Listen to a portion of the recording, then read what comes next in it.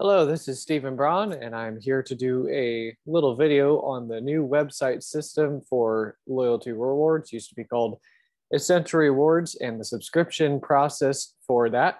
And just an update on how things work. Currently, we don't know what's going to be long term, but as of right now, um, there's a way to, if you accidentally remove all of your subscriptions from your cart, um, it will actually unsubscribe you from the loyalty rewards program and reset you back to uh, the starting percentage return on loyalty rewards.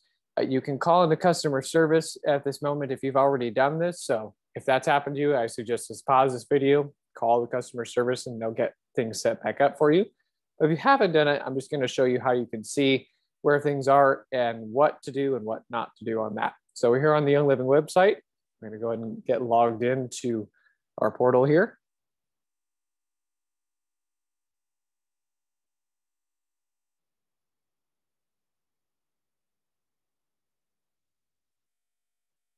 It takes me a little while because my computer's kind of old. So bear with me here as we do it. Okay, so this is already, this is already logged into my wife's account here, so we'll just use her account. Okay, so if you come over here to the loyalty rewards page on the login, it's just my account loyalty rewards.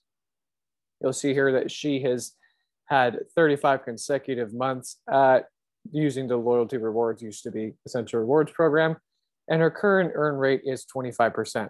Uh, that starts out at 10%, and this is what would reset if we emptied everything out of her subscriptions. It would go back to that 10%, which is something we don't want to do because it takes quite a while to get back up to that 25%.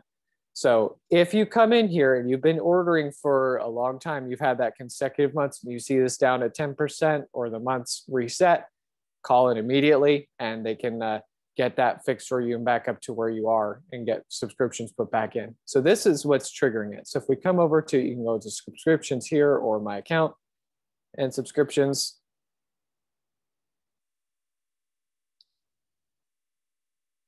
And you'll see here um, a few items that that were on here for her. So this was the the uh, what's in her cart. So she came in here and deleted all these items to get below that $50 or 50 PV minimum uh, for the loyalty reward subscription.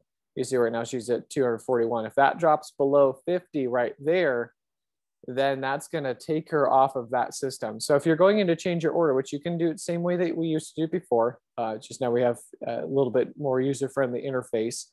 Um, you can still delete an item and just get it one time. You don't have to subscribe to it, you know, month after month after month. But we typically come in here and change out our entire orders uh, and, and do different things. Some things we order monthly, but that's just how we like to do. If you like to do subscription and just leave it, um, as you know, we have changed it now. You can do monthly or every other month or every three months, uh, just depending on how you like to do it. But if you're someone like me who likes to just kind of empty it out and do a clean slate from the beginning, just make sure you don't get it down below that 50 PV mark there as you're deleting stuff, or that's going to reset that loyalty rewards number here back down to 10%, and you'll lose your consecutive months. So uh, that's what to look out for when you're doing that. So just keep order up there. Um, you know, easy way you could do it is you could just go through and uh, as you're adding in items into here, you could just, you know, put put something into uh, the subscription here that's you know 50 PV, um, you, know, you, could just leave something like the Ningxia Essential Rewards Pack because we get that one pretty consistently.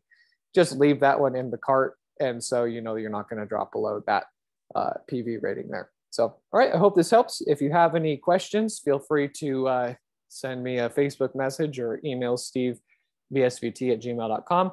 And of course, call customer service if that number was reset for you, and they'll happily get that put back together for you. If you need that number, you just dial this number 1 800 371 3515.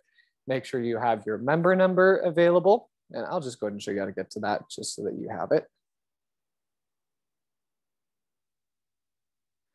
Um, so I guess I don't want to give away my uh, my wife's information here, but she's got her. If you come here to your account, um, and to her account details. You'll see her member number here. Um, and then you should have made a PIN number when you started. They'll need that PIN number as well to get into it uh, to, to access your account.